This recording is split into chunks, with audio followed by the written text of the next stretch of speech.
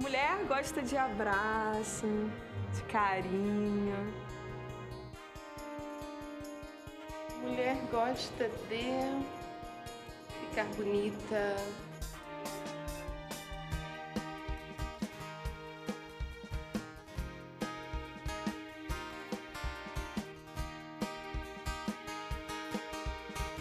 A gente quer ser feliz.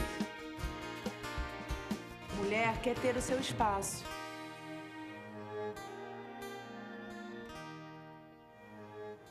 Olá, seja muito bem-vinda a mais um Espaço Feminino. Você chegou no seu espaço. A Boas Novas ama e valoriza você, mulher, porque o seu valor, a Bíblia diz que excede ao de finos rubis e você foi criada à imagem e semelhança dele. Então você é muito, muito, muito mais especial e amada do que você possa imaginar. Não esqueça disso. Deus te ama, Jesus te ama e nós aqui da Boas Novas também amamos você tanto que uma hora da nossa programação diária em horário nobre é reservado para você. E que honra poder te representar aqui na televisão e ser a sua voz para o Brasil. Eu sou Tereza Gomes e já começou agora o Espaço Feminino. Hoje falando sobre dificuldades de aprendizagem. A sua cadeirinha aqui na nossa sala está garantida, como sempre, junto à família, que hoje para conversar aqui com a gente, nós temos Glaucia Nunes, que é psicopedagoga clínica. Seja muito bem-vinda. Obrigada, obrigada, agradeço o convite. E esse tema é muito importante, né? Era Estamos muita dúvida, né? Muitas dúvidas. E é para isso que nós estamos aqui hoje. Você mandou essa sugestão de tema e nós estamos fazendo aqui. Também para conversar, Alice Maria, que é psicóloga existencial. Seja bem-vinda. Muito obrigada, obrigada pela oportunidade de falar de um tema bastante relevante. É verdade. E na música, mas também já está convidado para essa conversa com a gente, um equilíbrio aí masculino, né? Robson Laia, seja bem-vindo. Olá, muito obrigado. É uma alegria imensa estar aqui nessa tarde, juntamente com vocês, com esse tema aí. Vamos com música também. Legal. Fala aí um pouco pra gente como é que tá é, a vida corrida aí na música. Então, Tereza, é tudo novo, graças a Deus. É, eu estou lançando meu primeiro EP, né? Já também tenho meu primeiro single e graças a Deus nós estivemos lá na pré-estreia juntos. Legal. Foi muito bacana. E, e é tudo novo, né? Mas graças a Deus ele tem me abençoado e estamos aí levando boas novas. É isso aí, ah, garoto, Foi esperto. sem querer. Ah, deu certo. Vamos então ouvir boas novas da voz de Robson Laia, a música Gesto de Amor, do EP Fiel Isso. a Toda Prova, é isso? Isso. O espaço é todo seu. Gesto de amor. Abro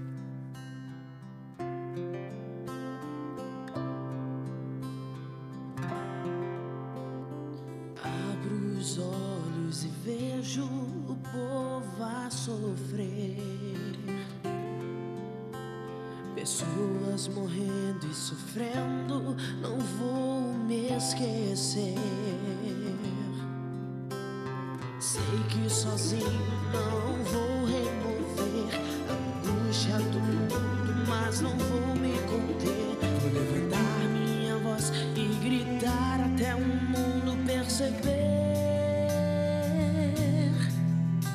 juntarmos a força e clamarmos a Deus, dividindo o amor, repartindo o bem, abraçando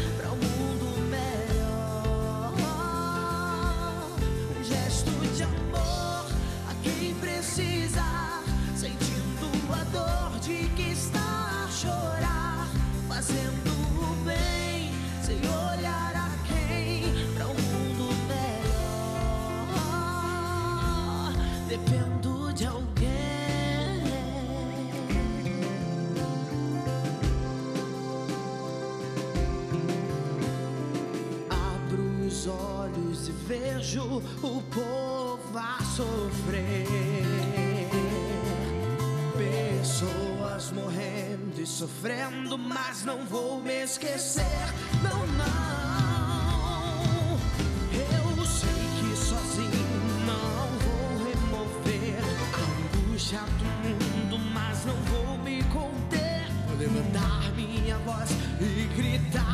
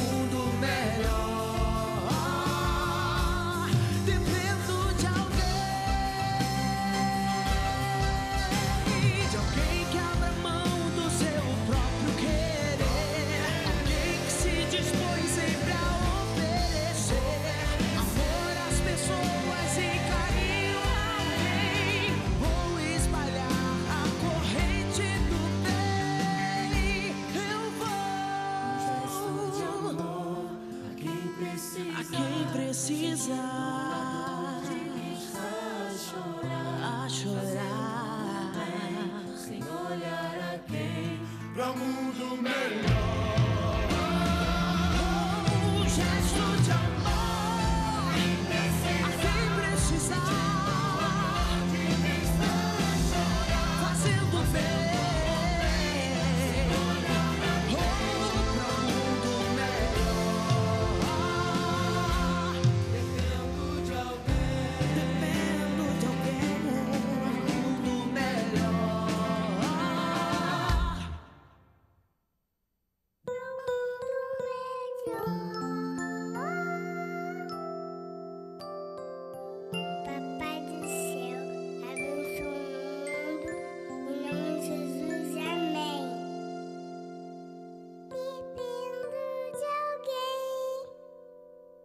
Senhor,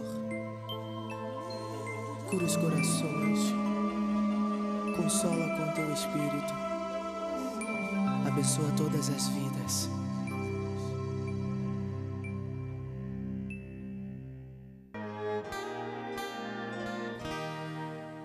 Estamos de volta com o Espaço Feminino hoje falando sobre dificuldades de aprendizagem. E é um tema polêmico. Não dizer polêmico, acho que pouco discutido, não é não? É verdade. Por que o tabu tão grande de discutir sobre isso? Eu acho que talvez seja, não sei se o colega concorda, a falta de informação de, de entender como que o aprendizado acontece. Legal. Né? E aí entender que todo o cérebro ele aprende e eu- todos nós temos dificuldade de aprender alguma coisa, né? E aí a gente entender que aprender é mudar uma estrutura dentro do cérebro e algumas pessoas terão um pouco mais de dificuldades em algumas habilidades, em algumas competências e outras pessoas já vão ter realmente uma disfunção, alguma região ali no cérebro que precisa ser estimulada ou foi afetada por alguma questão. E talvez assim a gente organizar esses pensamentos de como que esse processo acontece, a gente consegue realmente entender se é uma dificuldade natural, né, do contato com aquele que é novo, ou se realmente a gente está falando de uma pessoa que está realmente uma disfunção, alguma coisa que a função não está bacana. E é interessante ressaltar né, que a gente fala dificuldade de aprendizagem como se fosse uma única coisa.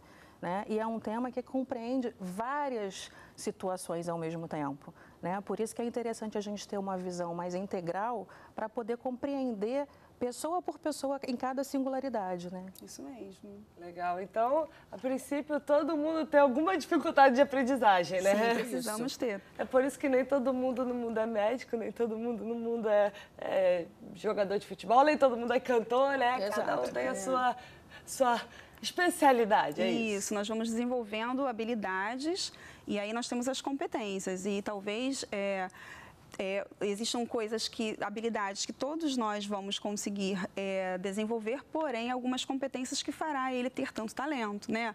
Vamos todos aprender a dirigir, vamos ter a questão da teoria, depois colocar aquilo em prática, mas de repente você vai ter, é, vai ser uma, uma pessoa que vai para a pista de corrida e eu vou dirigir dentro do bairro, né? E aí a gente fala, de repente, de dificuldade de aprendizado, a gente precisa falar como que isso acontece. Sim, era a minha próxima pergunta. Olha, o que são os problemas de aprendizagem? O que, que é isso, né? Uhum. Então, é, quando desde o ventre nós somos é, muito estimulados, né? e ali as habilidades já começam a ser desenvolvidas. Quando nós nascemos, se nós pudermos comparar os nossos neurônios como tomadinhas, como várias tomadas querendo ligar-se umas às outras, nós vamos nascer com milhares daquelas tomadinhas querendo uma a outra conversar entre si e trocar ali as informações. É, com um ano de idade, três vezes a mais aquelas, aquela quantidade inicial. Então, você vê a possibilidade e os estímulos que nós vamos recebendo uhum. desde a chegada à casa, aquela conversa todinha ali que está acontecendo, né? Bom, e aí, é, algumas questões nós já viemos, eu costumo brincar que a gente já veio de fábrica. Ninguém ensinou o bebê como saciar a sua fome, mas a gente coloca ele próximo, ele está com fome, próximo ao seio da mãe, ele já vai né, ter a questão da já sucção, encontra. né? E assim a gente, naturalmente, nós vamos aprendendo conforme os estímulos são ofertados. Né? Então, isso a gente entende isso. E aí, quando a gente vai falar, como a colega falou, da singularidade, a gente entende assim, que para tudo que eu vou aprender, desde as coisas mais simples às coisas mais complexas, o meu cérebro precisa entender três coisas importantes. Aquilo para ele precisa ter uma função. Para que, que eu vou aprender aquilo? ele precisa estar motivado a aprender, né? Então, quando a criança aprende uhum. a andar, ele tem a função, vou me arrastar, vou chegar a um brinquedo, né? Estou motivada, aquilo é muito bacana, faz um barulho, né? E eu preciso ter as, as minhas emoções envolvidas. Então, tanto de uma forma Entendi. positiva, né? Poxa, todas as vezes que eu estou com aquele brinquedo é muito legal, eu fiquei feliz, como eu também posso aprender que quando eu coloco o dedo na tomada, eu tomei um choque. Então, é uma coisa negativa. Então, as emoções vão estar envolvidas nisso. Legal. Né? Então, assim, basicamente, no início da gente começar a conversar, para a gente chegar agora depois, por que, que um vai vai ou o outro não, é. né? A gente entender como que esse processo acontece. Então a gente já sabe que todas as informações do meio externo, é, quando chegam nos nossos neurônios, vão chegar como impulsos elétricos, né? E nós precisamos que isso seja estimulado. Entendi precisa ser codificado. É verdade. Né? E aí é bastante interessante que a gente entenda né, que o ser humano ele tem é, etapas de desenvolvimento. E a gente tem mais ou menos aquilo que seria esperado para cada faixa etária. Sim, e quando a gente fala de um atraso, né, de uma dificuldade, a gente está fazendo uma comparação daquele indivíduo com a maioria da população. Né? Se a maioria consegue adquirir né, uma determinada habilidade aos dois anos, ele tem quatro e não conseguiu, a gente tem que olhar para isso né? A gente tem sempre um parâmetro para balizar. E aí, como falei novamente, né, vamos olhar individualmente para aquele caso e abordar o máximo de fatores possíveis para a gente descobrir, então, Qual o que é está né? causando né? aquele atraso. Para a gente poder, então, traçar um projeto terapêutico para aquela pessoa. Perfeito. A partir de que idade, mais ou menos, já dá para se notar que existe algum, alguma dificuldade?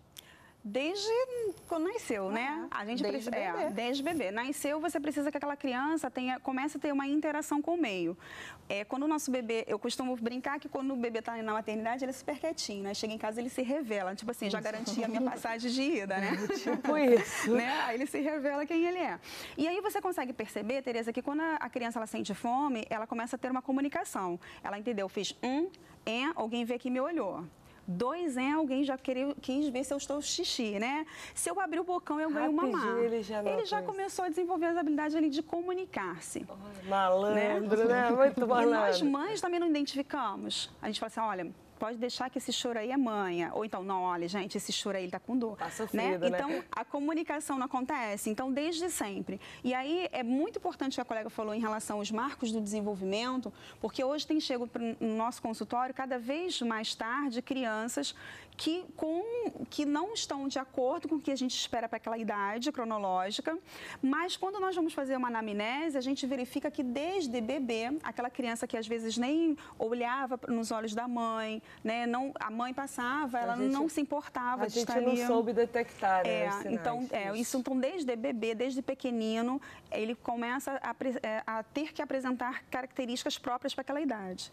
Né? Claro que, assim, eu escuto muito isso, eu só tenho uma filha, mas eu escuto minhas mães dizendo, ó, cada criança é uma criança. Sim. Uma criança pode aprender uma coisa mais rápido. Mais rápido que a outra. Que a outra, mas não quer dizer que essa tem alguma isso. dificuldade, né? Então, como entender essa diferença é, entre essa, essa criança ainda está né, desenvolvendo ou essa criança tem algum tipo de dificuldade mesmo. Aham. É, é por isso que é super importante o acompanhamento médico dessa criança.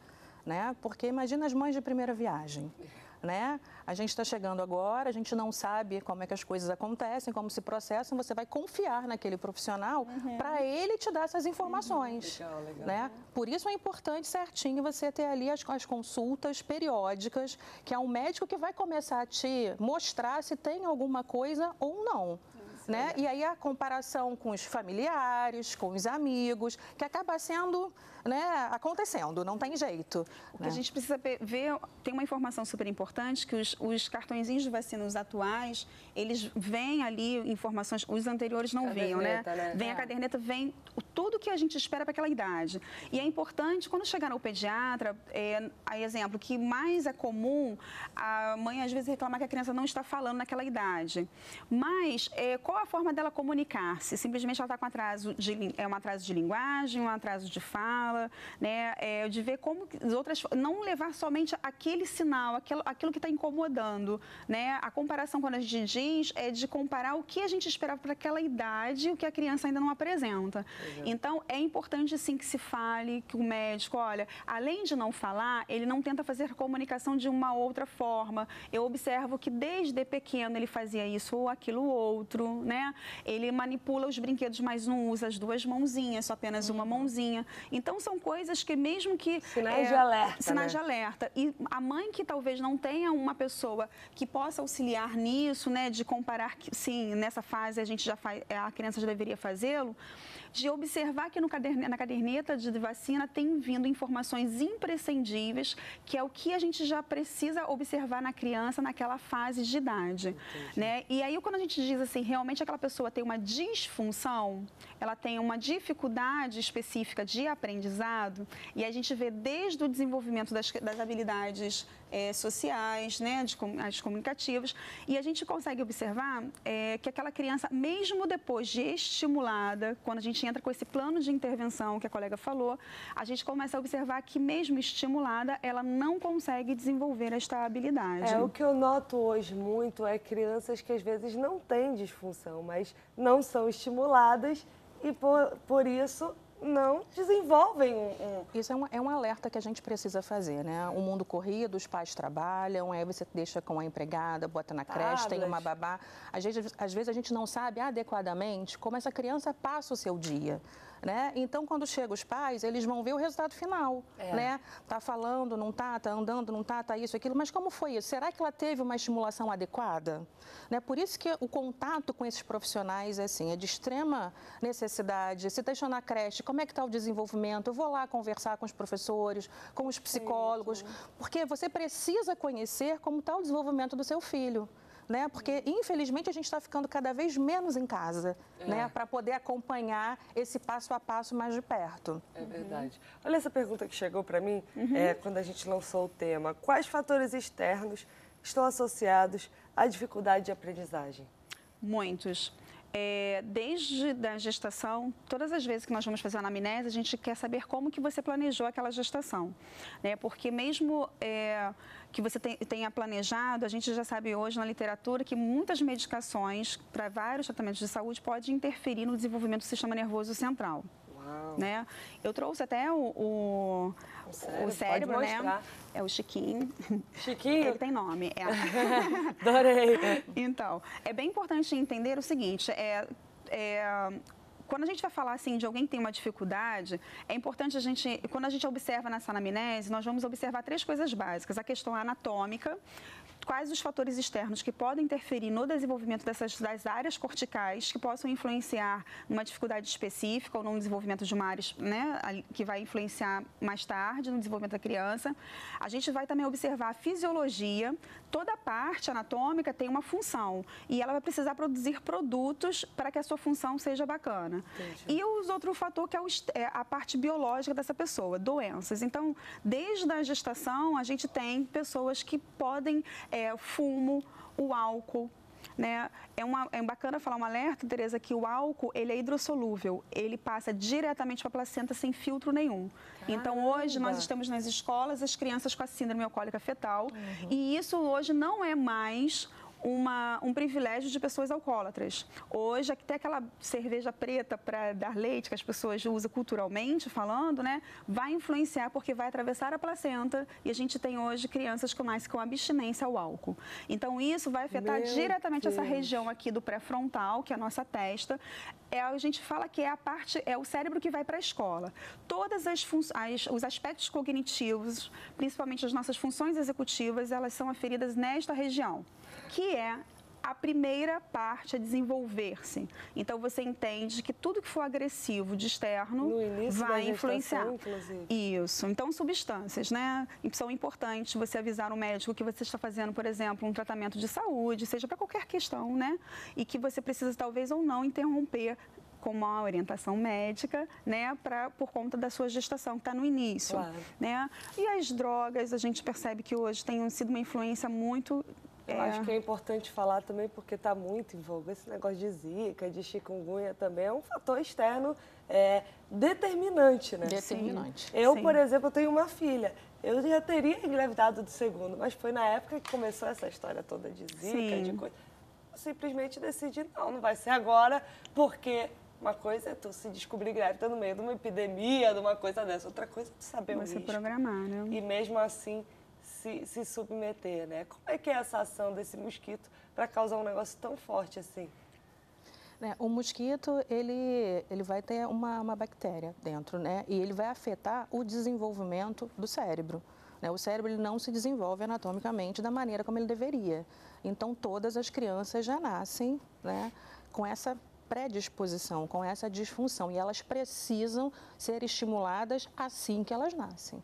Né? O tratamento tem que iniciar o mais rápido possível com uma equipe multidisciplinar. É, uma coisa importante, é, completando com a colega, né, é, o que a gente já sabe desse vírus, é, ele tem um tropismo, né, pelas células, né, é, é, hoje ainda se estuda, né, como que ele tem esse tropismo, né, ficar ali na...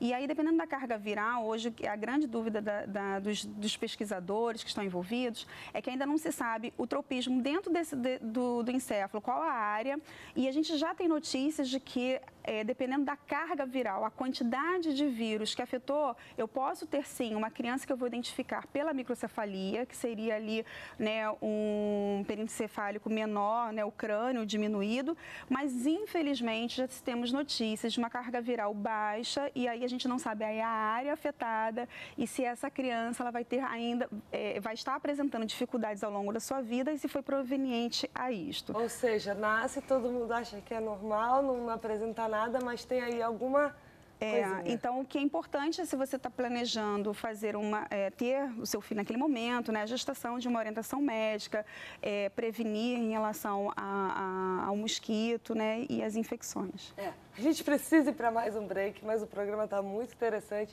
e a gente só começou, ainda tem muita coisa para falar. Bebe uma água, chama a família e volta, que ainda tem muito espaço feminino.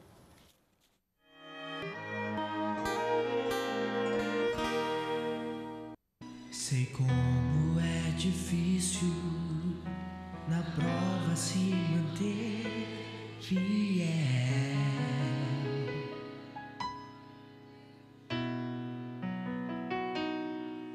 As dificuldades chegam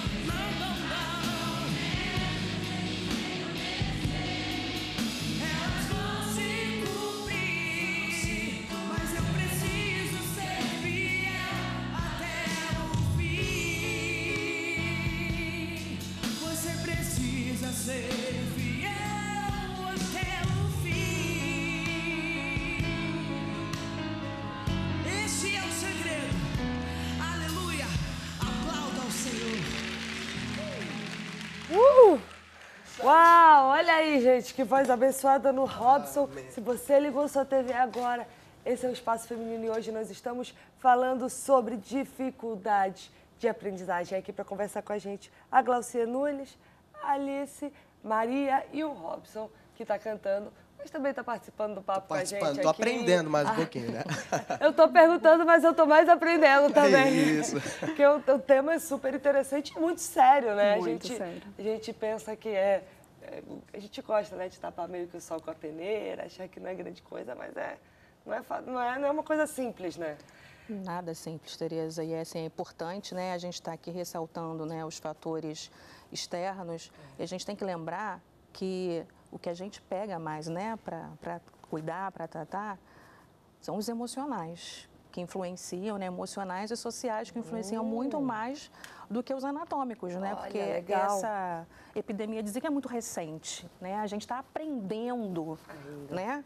a lidar com isso, né? E a gente, por isso a gente precisa ter esse cuidado, esse olhar mais carinhoso e mais cuidadoso para os nossos filhos, né? Porque cada um vai interpretar o estímulo de uma maneira diferente. Então, às vezes, uma mudança de escola, uma mudança de casa, por exemplo, pais que são militares que viajam muito, né? separação, doença, causas de morte, eles têm dificuldade para elaborar essas situações e isso acaba aparecendo na dificuldade de aprendizado. Com certeza. É o que a gente chama de é, fortalecimento da inteligência emocional, né?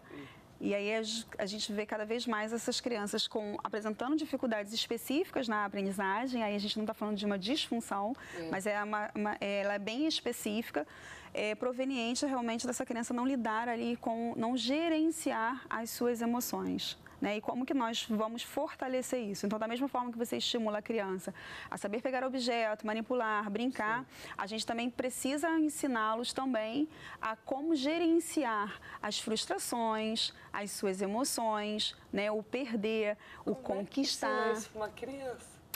desde o ventre, né? Desde o ventre. É, se a gente olha, olha quanto que a gente já conversou hoje, a gente já, já conseguiu é, abordar os fatores externos, né, de substâncias que vão agredir esse sistema nervoso central. A gente falou aí de, de, de áreas que talvez elas não nasçam com, com formações adequadas para que as suas funções aconteçam. E agora a gente está falando de fatores também emocionais que desde do desejo de estar gestando, né, de estar ali levando esse bebê ao desenvolvimento. Ao nascer, é, todas as vezes que você faz com que ele entenda que ele vai conquistar, né, ele, vai, ele, ele precisa é, é, conquistar, ele ter- vai ter consequências de alguma coisa que ele deixou de fazer ou que ele não fez, você vai estar fortalecendo essa criança cada vez mais a entender o quanto ele é importante, a construir a autoimagem dele. Legal. Quem ele é. Né? Por que, que você, Tereza, você é, tem convicção da, da, sua profissão? Você tem a sua autoimagem, você sabe Sim. das habilidades que você desenvolveu, acho que você tem dificuldade e vai gerenciando essas que você precisa utilizar, mas talvez não consiga né, desempenhar com, como gostaria, claro. não é verdade? Mas por que, que isso? Você começa a ter disciplina porque você se conhece.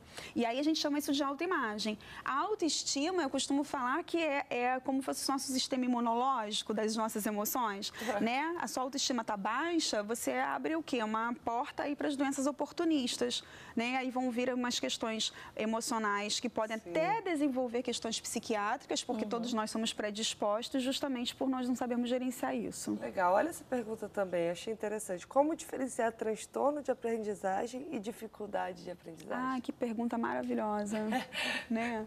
É, a dificuldade é, como a gente falou mais cedo, é quando eu estou de encontro a uma habilidade nova, né?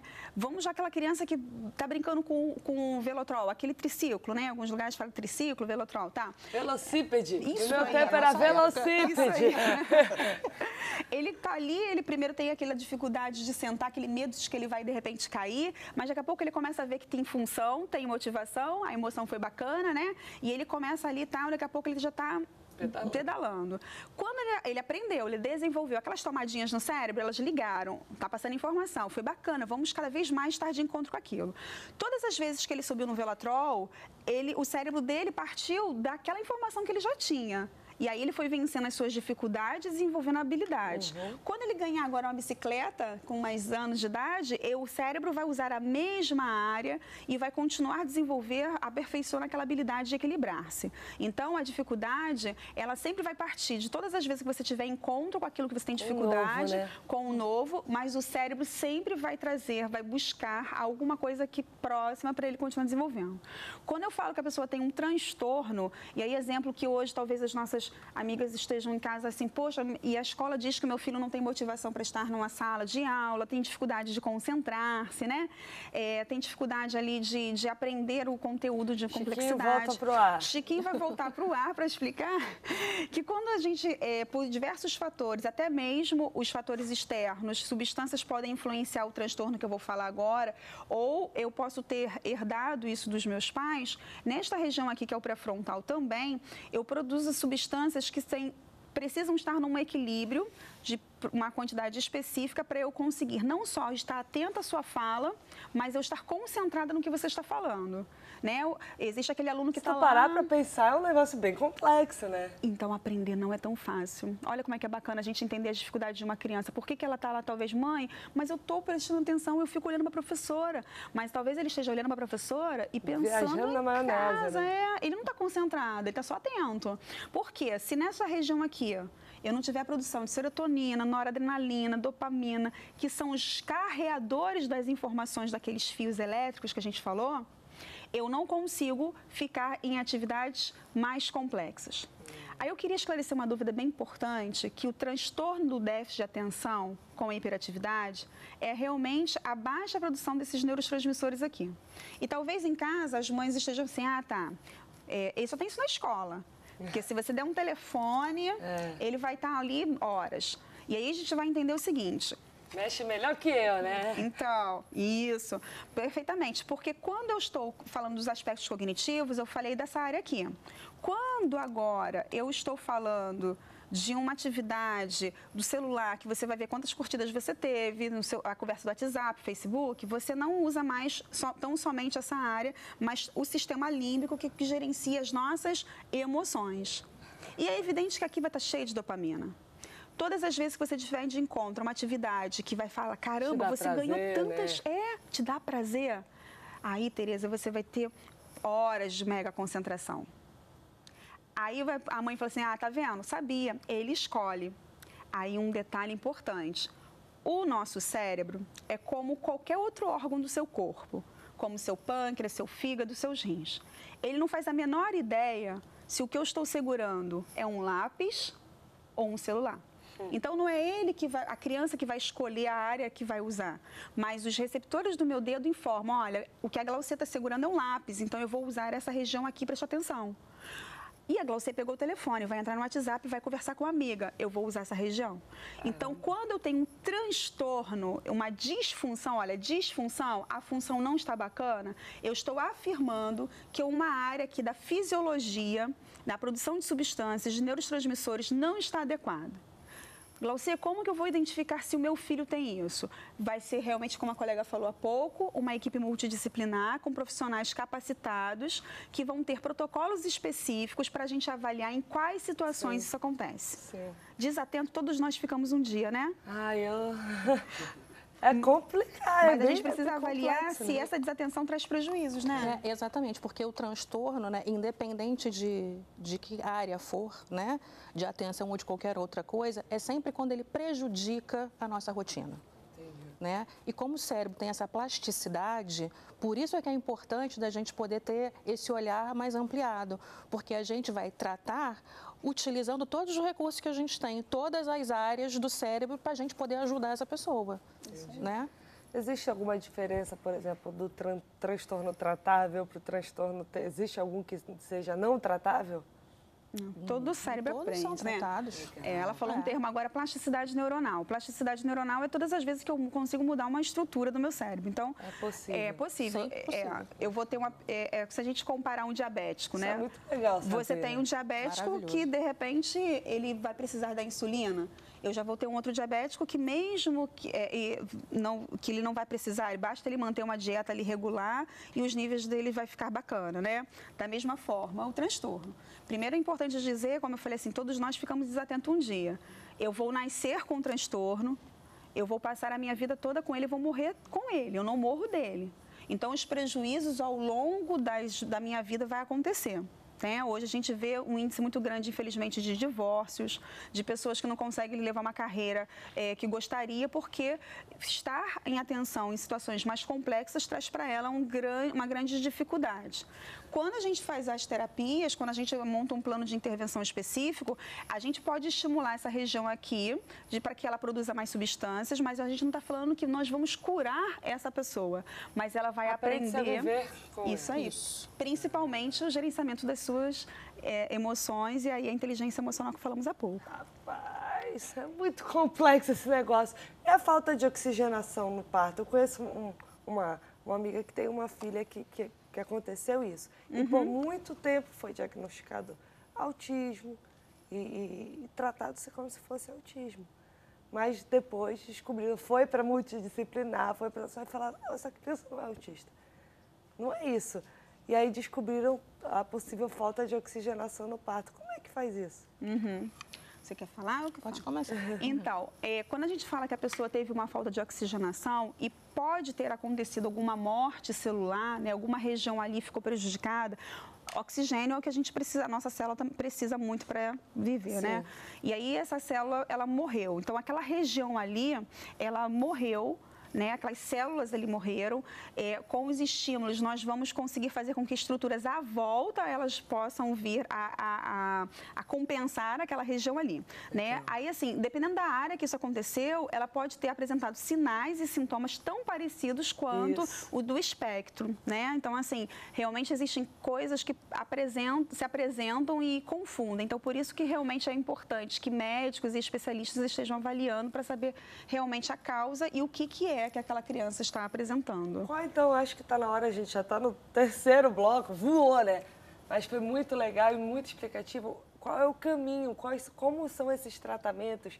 Como é que a gente faz para tentar é, aprender a viver, né? Que a gente aprendeu que não é recuperar, é aprender a viver. Bom, é, é importante então que a pessoa né, tenha essa consciência né, e vá procurar uma equipe multidisciplinar.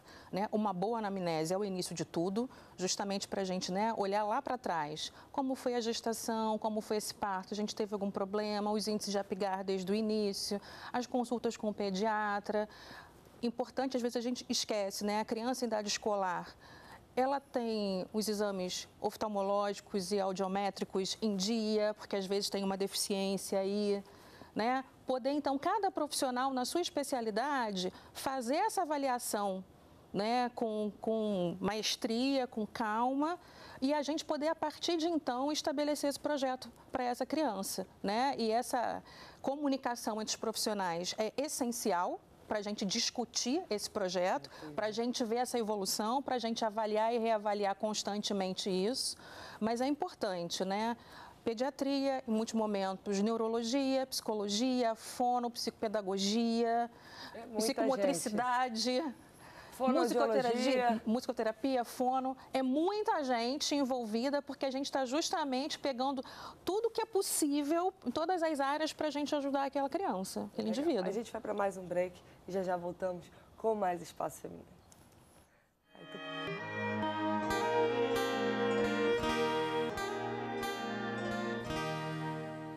Voltamos com o espaço feminino, como a gente estava comentando aqui no intervalo, que aula que a gente teve hoje sobre eh, dificuldade de aprendizagem. A gente terminou aí com a Alice falando um pouco sobre o caminho, né, como estimular e como tratar para aprender a viver. E aí eu já passo para a Glossier complementar aí com o que resta. Então, é, acho que para fechar o que a colega falou, que muito bem, é, a gente percebe hoje que várias coisas estão, continuam influenciando, né? Até o 18º mês de vida, o sistema nervoso central continua desenvolvendo pós-nascido. Então, 18 meses tem pós seu filho ter coisa, nascido, né? E aí o que a gente percebe hoje, diante de tudo que foi colocado, que a gente falou que as emoções influenciam, a forma de, de viver, a funcionalidade da casa, aquelas questões todas, algo que tem percebido bastante são duas coisas para a gente completar. A primeira é a questão da alimentação. Nós temos tirado do, do- o, o que é importante para que o cérebro funcione corretamente. Ele precisa de nutrientes que nós encontramos nos vegetais, nos legumes e verduras, o que nós estamos tirando dos nossos filhos para achar que os industrializados nós estamos pagando caro, então isso é o melhor. E não é verdade.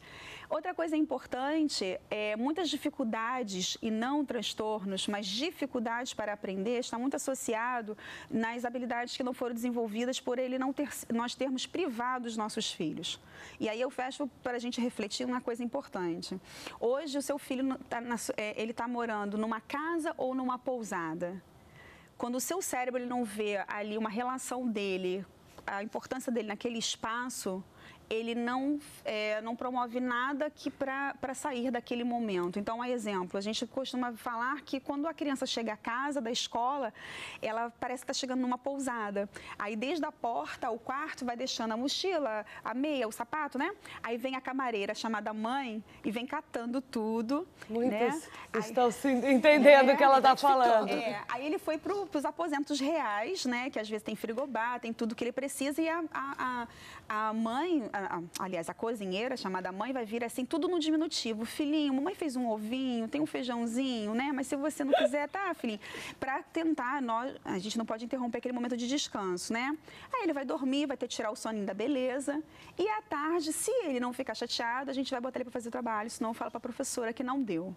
E aí o que, que acontece? Se nós olharmos É. naquela infância onde nós tínhamos que arrumar o nosso próprio quarto, os nossos brinquedos, os nossos materiais, a nossa mochila, isso faz com que áreas corticais foram apontadas aqui, principalmente o pré-frontal, seja estimulado. É a mesma área que quando você estiver diante de uma situação, é, de, um, de um enunciado, você vai conseguir entender, interpretar o que está se pedindo, organizar por onde você vai começar e trazer à memória ferramentas para resolver aquilo ali. Então, antes de nós acharmos que essa criança tem um transtorno, uma disfunção, falta-se produções eh, de neurotransmissores para que ele possa ter um aprendizado com excelência, a gente precisa entender como que realmente esse cérebro está sendo estimulado. Violência doméstica é outro fator importante. Crianças que, que precisam serem ouvidas, crianças que vivem em situações de risco. Então, tudo isso são coisas que influenciam diretamente o aprendizado. Olha que legal essa pergunta. É, como saber se um aluno apresenta, por exemplo, déficit de atenção ou apenas passa por um momento difícil? Olha que bacana, né? É, a gente precisa fazer uma avaliação adequada desse aluno. Né? Ter um contato com essa família, ter um contato com a escola. Nós temos testes específicos para ver tudo isso.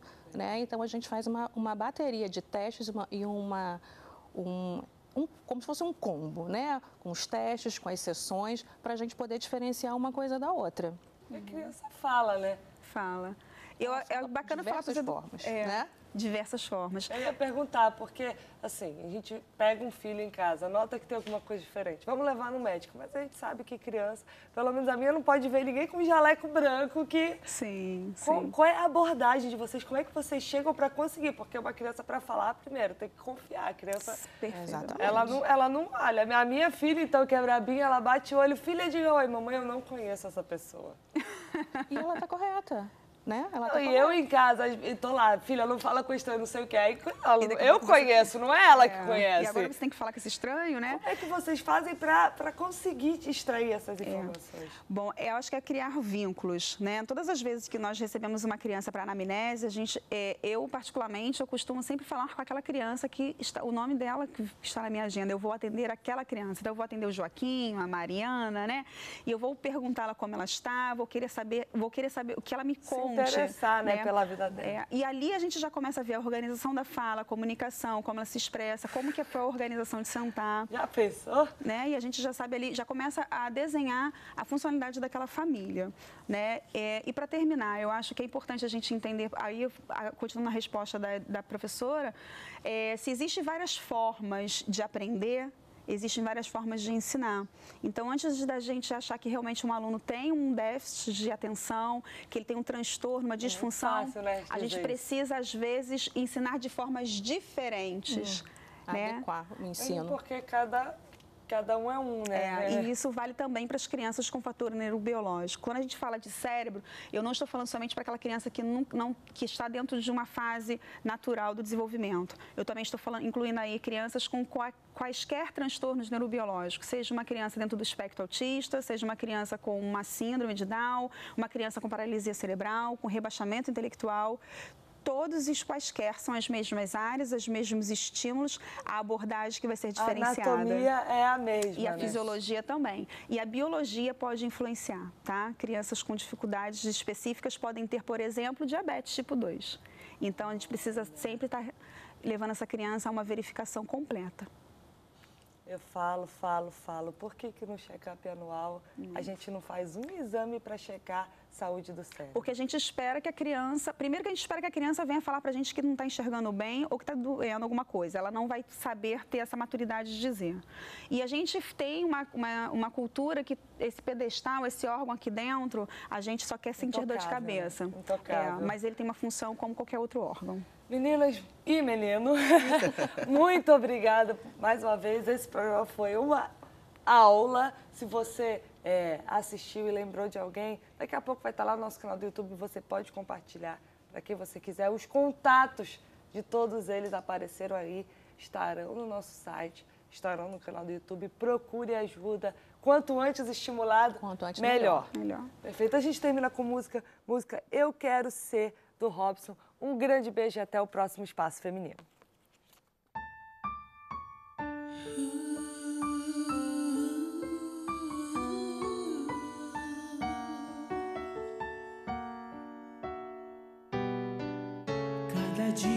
Que me prostro, lembro tudo que fizeste, todas as promessas e milagres.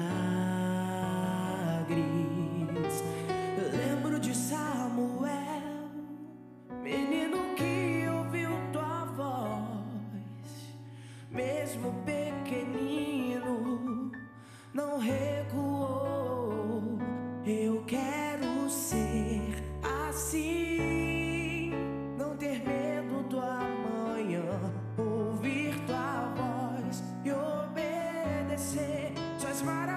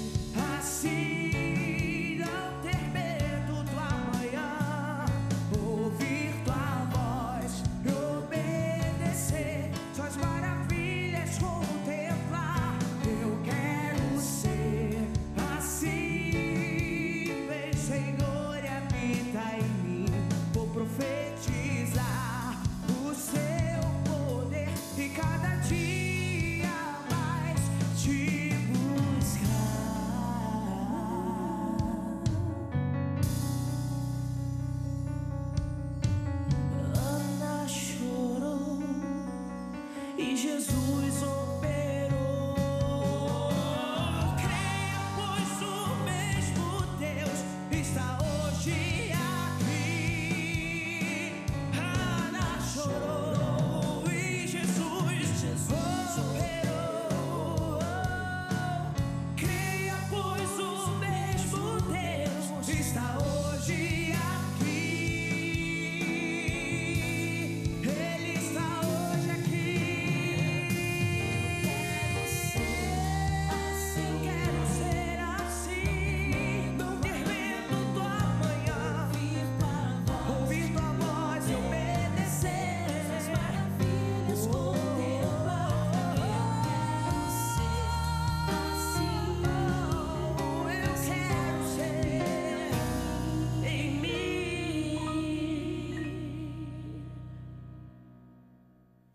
profetizar